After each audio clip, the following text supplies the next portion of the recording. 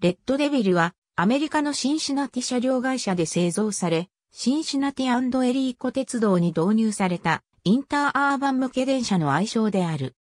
シンシナティダイトン軌道を中心に周辺のインターアーバン鉄道を合併する形で設立されたシンシナティエリーコ鉄道では、それまで使用されていた旧型電車に代わる軽量かつ高速、そして運用コストが安価な新型電車の導入が決定した。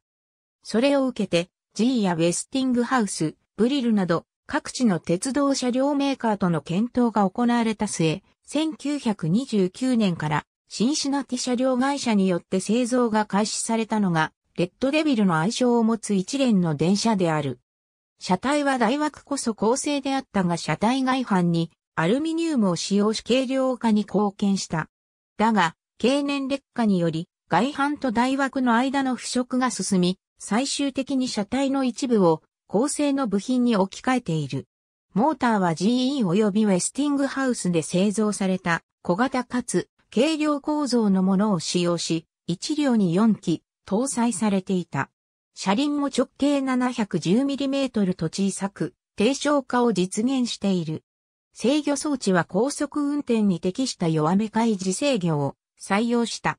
連結運転は考慮されていなかったため連結機は設置されておらず、多脚時には続行運転で対応していた。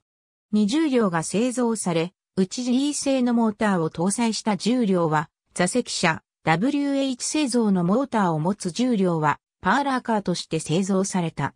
座席車の着席定員は44人で、車内には荷物室やトイレも設置されていた。